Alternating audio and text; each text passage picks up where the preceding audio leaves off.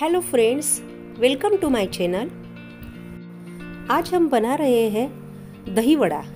इसे दही भल्ला भी कहा जाता है। जो लोग तेल वाला या फ्राई किया हुआ खाना नहीं खाते हैं, उनको ये रेसिपी बहुत पसंद आने वाली है। इसलिए ये रेसिपी शुरू से आखिर तक देखें।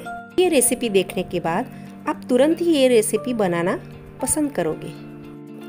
आपने मेरे चैनल को अब तक सब्सक्राइब ना किया हो तो प्लीज़ लाइक शेयर और सब्सक्राइब करें और बेल बटन क्लिक करें। दही वड़े बनाने के लिए मैंने एक कप मूंग दाल और एक कप उड़द की दाल अच्छे से धो के चार घंटे के लिए भिगो के रखी है। अब हम दही वड़े को टेस्टी बनाने के लिए चटाकेदार मसाला बनाएँगे। एक पैन में मैंने तीन टीस्पून जीरा एक टीस्पून अजवाइन और एक टीस्पून साबुत धनिया लिया है। अब इसे सुनहरा होने तक भून लेंगे। दो मिनट लो फ्लेम पे भूनने के बाद ये सुनहरा हो गया है।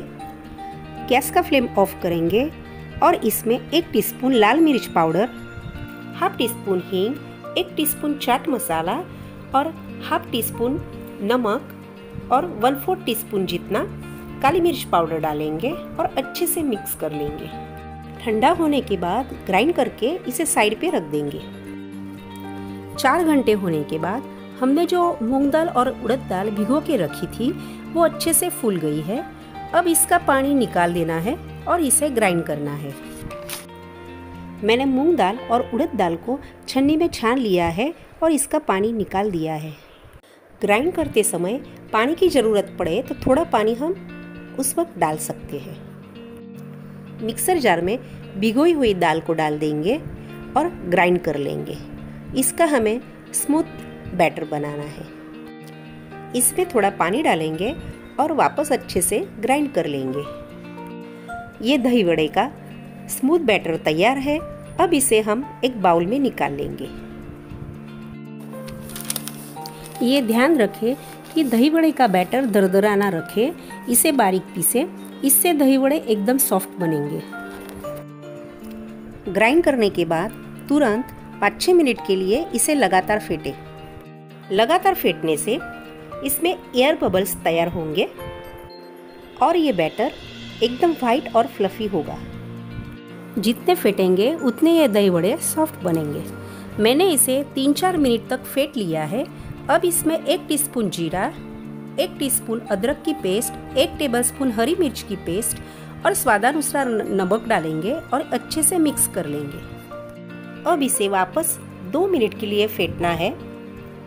फेंटने से ये एकदम हल्का हो जाता है और इसका कलर भी चेंज हो जाता है। दो मिनट फेंटने के बाद हम इसमें one fourth tea baking soda डालेंगे और एक ही डायरेक्शन में अच्छे से फेंट लेंगे। आप इसमें इनो भी डाल सकते हैं, लेकिन इनो बेकिंग सोडा से डबल डालें। मतलब हाफ़ टी स्पून डालें।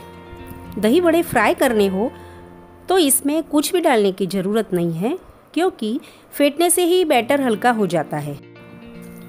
अब गैस पे अप्पे पैन रखेंगे और उसे ऑयल से ग्रीस कर लेंगे।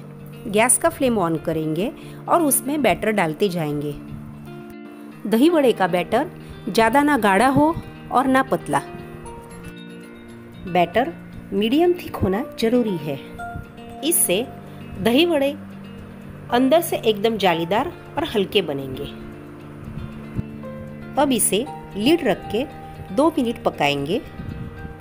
अब तेल से ग्रीस कर लेंगे और इसे पलटाएँगे।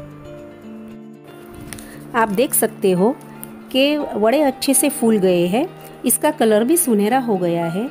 अब इसे पलटा के दूसरे साइड से भी लीड रख के सुनहरा होने तक सेक लेंगे। वड़े बनाते समय गैस का फ्लेम लो रखें, जिससे वड़े अंदर से कच्चे नहीं रहेंगे। वड़े तैयार हो गए हैं।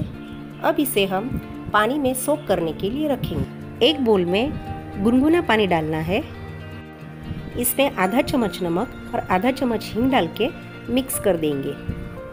अब तैयार किए हुए पानी में दही बड़े डाल देंगे और एक डेढ़ घंटे के लिए सोख करने रखेंगे। मैंने अप्पे पैन को वापस ग्रीस कर लिया है और उसमें बैटर डाल के सेकने के लिए रख दिया है। पानी में सोख करने के बाद ये दही बड़े अच्छे से फूल जाते हैं और सॉफ्ट भी हो जाते हैं। ये सेकंड राउंड के दही बड़े भी तैयार है। आप देख सकते हो कि सोक किया हुआ दही बड़ा अभी बनाए दही बड़े से डबल हो गया है। दही वड़े पानी में सोख हो रहे हैं, तब तक हम दही बना लेंगे। मैंने 400 ग्राम गाढ़ा दही लिया है। अब इसे छन्नी से छान लेंगे। दही खट्टा नहीं होना चाहिए। खट्टा हो तो इसमें थोड़ा दूध डाल सकते हैं। दही को अच्छे से छानने के बाद इसमें टेस्ट के अनुसार नमक डालना है। मैं इसमें शक्कर नहीं डाल रही हूँ। आप डालना चाहते हो तो डाल सकते हो। मैंने सोप किए हुए दही बड़े को हल्के हाथ से निचोड़ के उसका पानी निकाल दिया है। अब इसे सर्विंग प्लेट में रखेंगे और वड़े पे दही डाल देंगे। खजूर इमली की चटनी डालेंगे और धनिया और पुदीने की चटनी भी डाल देंगे। आपको खजूर इमली और धनिया पुदीने की चटनी बनानी हो तो इसके वीडियो का लिंक मैंने नीचे डिस्क्रिप्शन बॉक्स में दिया है, वो देख के आप बना सकते हो। हमने दही वड़े का जो चटाकेदार मसाला बनाया था, वो भी ऊपर से हम डाल देंगे। आप देख सकते हो कि दही वड़े कितने नरम और स्पंजी बने हैं। आप ये दही वड़े खाएँगे तो मुँह में जाते ही घुल जाएँगे। इतने सॉफ्ट ये दही वड़े बने हैं। ये रेसिपी आप एक बार ज़रूर ट्राई करें और कैसी बनी वो कमेंट बॉक्स में ज़रूर बताएँ। आपको मेरे वीडियो अच्छे लगते हो तो प्लीज़ लाइक, शेयर और सब्सक्राइब करें और बेल बटन क्लिक करें। इससे मेरे नए वीडियो के नोटिफिकेशन आपके मोबाइल पे तुरंत आ जाएँगे। Thank you for watching.